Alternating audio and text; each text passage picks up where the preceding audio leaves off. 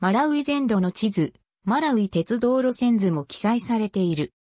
マラウイ鉄道は1999年に民営化されたマラウイの旧国営鉄道である。マラウイ中部州以南に鉄道網を敷設していたことで知られる。1999年12月1日にアメリカを本拠地とする鉄道開発会社を主体とした中央東アフリカ鉄道グループが20年間にわたるマラウイ鉄道の運営権を取得した。これは半官半民経営を除いた場合、アフリカで初の鉄道民営化例である。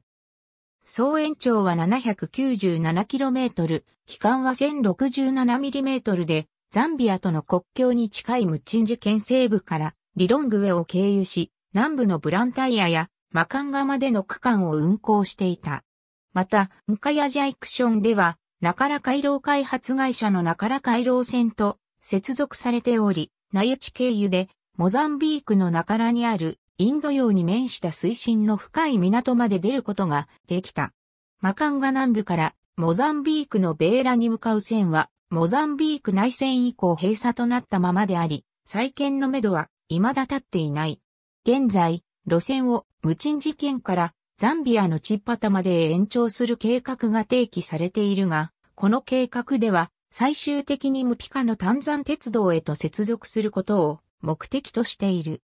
貨物輸送は主にナカラを経由して輸出を行っている。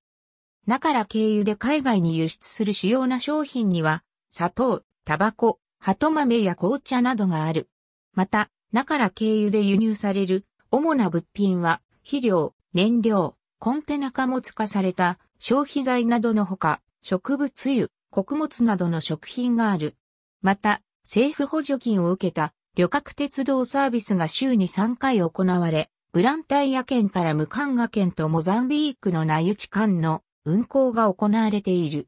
台湾から送られたエンド G12 型ディーゼル機関車2003年1月にはサイクロンデルフィナの被害によりリビリビ橋が損傷したが2005年になって復旧した。なお、2005年1月には中良港及びモザンビーク北部鉄道の経営権も中央東アフリカ鉄道協会が取得したため、今後一層の発展が期待されている。2006年7月、台湾は4台の R20 シリーズのディーゼル機関車や R56、R57、R58、R59 をマラウイ鉄道に提供した。ありがとうございます。